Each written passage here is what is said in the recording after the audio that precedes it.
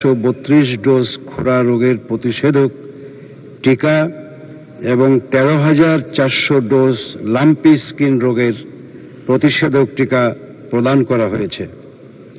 পাশাপাশি ষোলোটি ফ্রি ভ্যাকসিনের ক্যাম্প এবং চোদ্দটি ফ্রি ভ্যাটেনারি মেডিকেল ক্যাম্প পরিচালিত হয়েছে।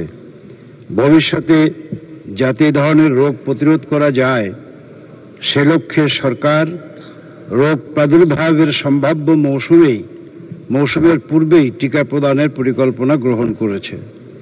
এ লক্ষ্যে উন্নয়ন প্রকল্পের আওতায় প্রতিটি ইউনিয়নে একজন ভ্যাকসিনেটর ভলেন্টিয়ার নিযুক্ত করা হয়েছে। চলতি দুই হাজার তেইশ এবং চব্বিশ অর্থ বছরে পলাশবাড়ি সাদুল্লাপুর উপজেলায় গবাদি পশু ও হাঁস মুরগির রোগ প্রতিরোধে মোট বারো লক্ষ বারো বারো দশমিক পঁচানব্বই লক্ষ ডোজ টিকা প্রদানের পরিকল্পনা রয়েছে।